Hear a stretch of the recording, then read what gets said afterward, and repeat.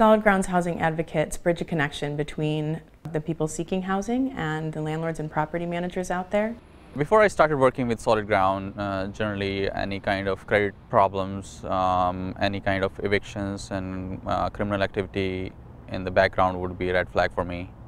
After that first tenant, I have several other tenants from Solid Ground and I feel that these families are more motivated to keep their units, um, uh, keep them clean, pay rent on time. So that's what make them uh, best tenants for me.